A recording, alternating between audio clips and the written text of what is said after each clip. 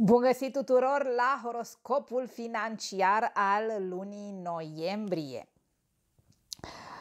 Luna noiembrie reprezintă un, o lună importantă, așa cum am mai povestit și în horoscopul general al lunii noiembrie.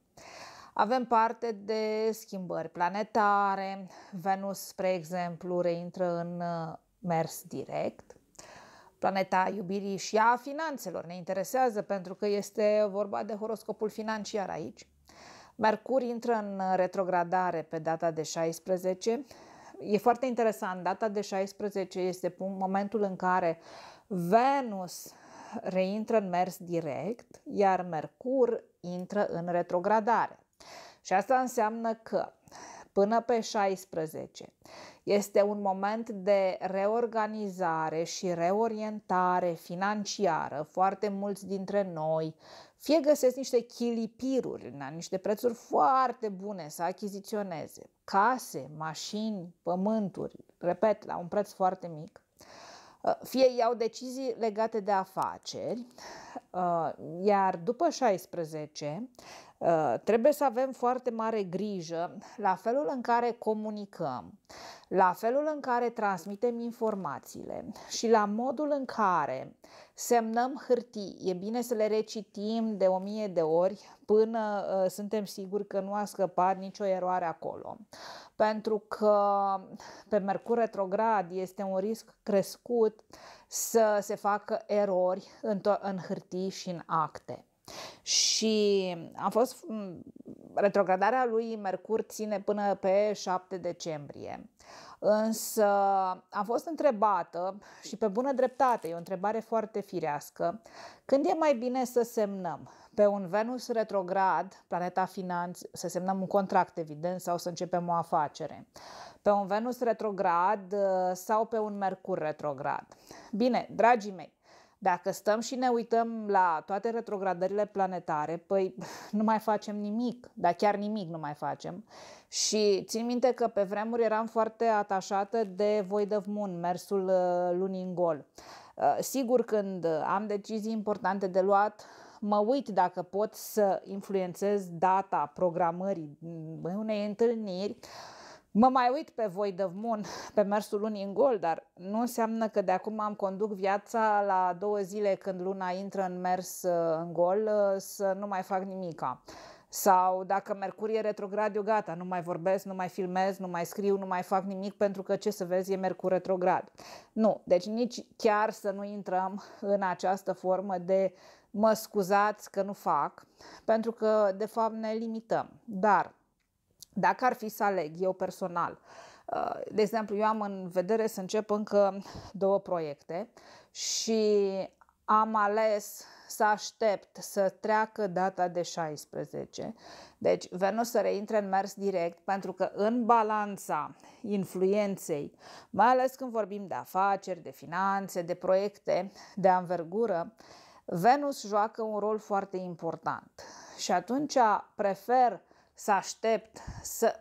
Și înceapă Mercur retrogradarea. Ok, da, voi fi mai atentă la hârtii, voi fi mai atentă la acte, voi reciti de 10 ori ce semnez, da, de acord, dar între Venus și Mercur eu prefer să nu-mi încep afacerea pe Venus retrograd, dar nici nu-mi propun să aștept până la adânci bătrânețe, când probabil într-o zi toate planetele vor fi în mers direct. Și hai să vedem, după ce v-am povestit despre ce să facem, ce să alegem uh, uh, legat de planete, cum suntem influențați din punct de vedere financiar în uh, următoarea lună cu toții. Și încep cu semnul berbecului, care are de luat niște hotărâri extrem de importante legate de bani. Numai că niște surprize de ultimă oră sau niște încurcături la bancă sau niște încurcături în hârtii s-ar putea să-ți dea peste cap programul inițial, așa încât îți recomand cu căldură să ai un backup, să ai o soluție de uh, urgență în cazul unor blocaje. Taur. Taurul are o lună foarte bună să facă afaceri, dar ți-aș recomanda să pui în practică orice ai gândit până acum după data de 16, 16 noiembrie. Deci nu ai interdicție la afaceri, ci doar evită să începi un business, să iei o hotărâre importantă financiară până pe 16, pentru că să nu uităm totuși că Venus, planeta finanțelor, este guvernatoarea semnului tău zodiacal și cu siguranță nu-ți dorești complicații, încurcături, zăpăceli și blocaje. Gemeni. Gemenii au uh, o lună noiembrie din punct de vedere financiar uh, foarte bună. Uh, dacă îți propui să faci un credit, e în regulă, doar că dacă îți faci un credit, uh, citește foarte bine contractul dacă te duci la bancă după 16 noiembrie.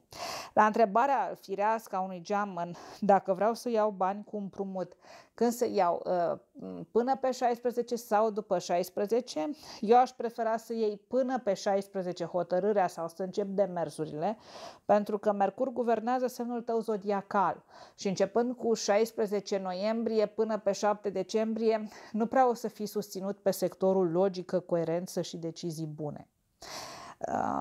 Racul.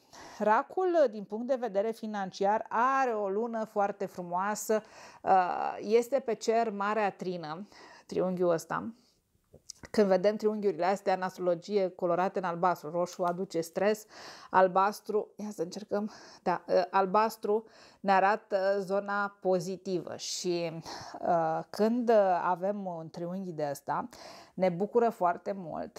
Racul este foarte bine susținut.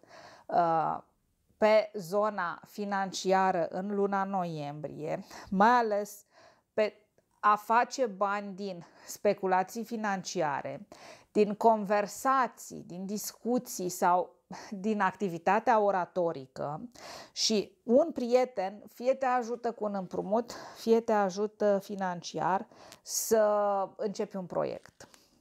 Și evident devine partenerul tău. Leu. Leul trebuie să aibă grijă la bani, pentru că o femeie o să-ți aducă necazuri, o să-ți aducă pierderi, o să-ți creeze probleme în zona financiară. Fie este un dușman pe care îl ai și care îți pune piedici, fie din prostie, din neștiință, faci o afirmație într-un cadru organizat și afirmația te va costa mai scump decât îți imaginezi, fie e prost pregătită și te pune într-o situație în care nici tu la rândul tău, nefiind foarte aliniat cu informațiile financiare, să iei o decizie greșită. Deci, mare grijă la femei în luna noiembrie că ele îți aduc pierderi financiare. Fecioara. În luna noiembrie, Fecioara face bani din afaceri, din speculații și dintr-o relație cu străinătatea sau dintr-o relație cu un partener străin. Este o lună foarte bună pentru fecioare, dar ți-aș recomanda orice decizie ei financiar, pun-o în practică sau încearcă să miști lucrurile măcar până pe 16 noiembrie, pentru că după 16 noiembrie uh, Mercur, guvernatorul zodiei tale, intră în retrogradare și nu o să te susțină foarte mult în ceea ce faci. Deci uh, nu înseamnă că ai să ai uh, eșec după eșec după 16 noiembrie, ci înseamnă că în cazul tău al fecioarei lucrurile se vor mișca puțin mai greu decât îți dorești. După 16 noiembrie, evident. Balanța. Balanța să aibă mare grijă luna noiembrie la bani, pentru că poți să fii păcălit, excrocat, să iei niște decizii proaste, să semnezi un contract în defavoarea ta, nu ești bine aspectat pe zona financiară și decizii impulsive, decizii la moment, decizii declanșate de încăpățânare și orgoliu s-ar putea să-ți aducă pierderi financiare. Deci grijă în luna noiembrie și dacă ești prudent în ceea ce faci, evident că vei evita și complicații financiare. Scorpion. Scorpionul va plăti niște amenzi în luna noiembrie.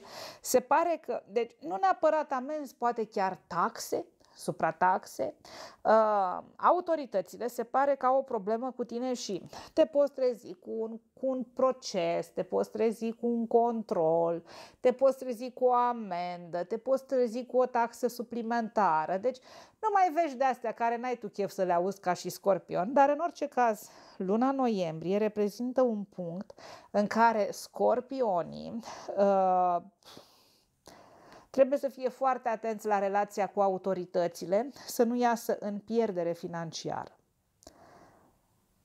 Săgetător.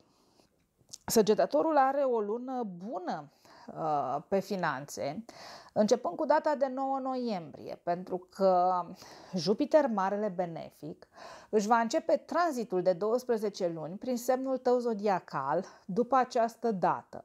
Și niște prieteni, niște cunoștințe sau niște potențiali investitori te vor susține foarte mult în proiectul tău și te vor ajuta să faci niște bani sau îți vor aduce banii de care ai nevoie ca tu să-ți începi un proiect. Capricornul. Capricornul uh, este puțin confuz în luna noiembrie vis-a-vis de bani, deoarece ai mizat pe niște sume care nu se ridică la nivelul așteptărilor tale. Ai mizat pe niște oameni care te vor susține și aceștia dispar ca măgarul în ceață.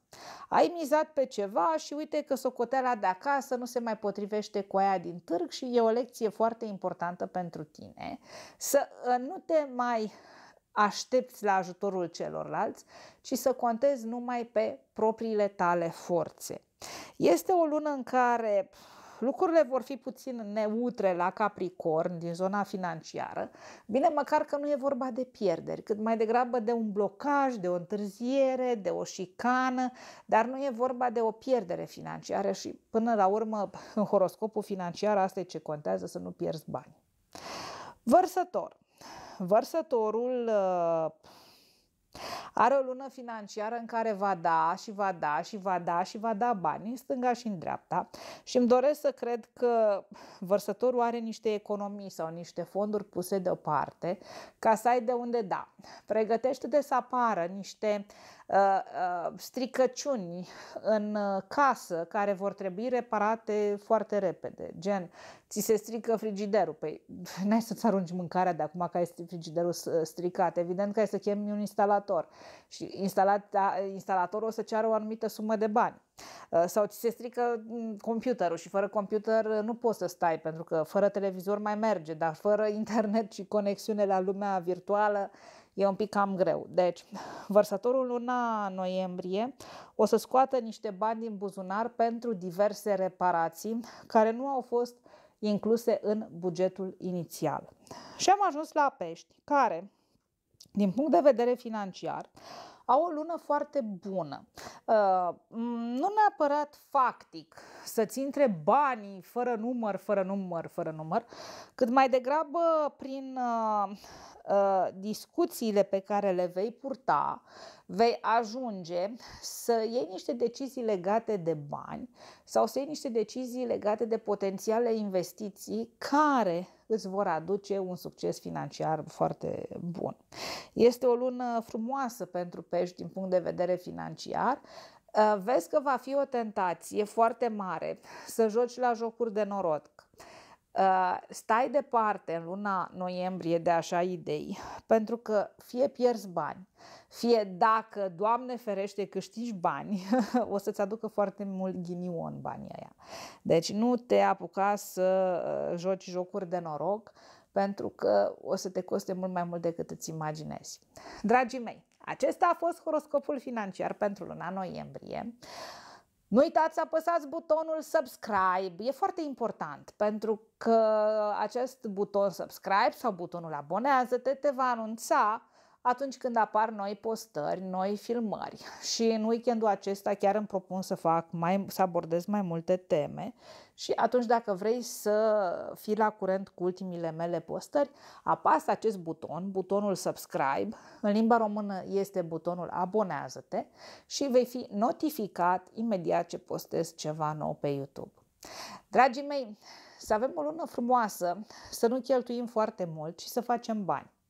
Uh, vă doresc un noiembrie cât mai abundent tuturor.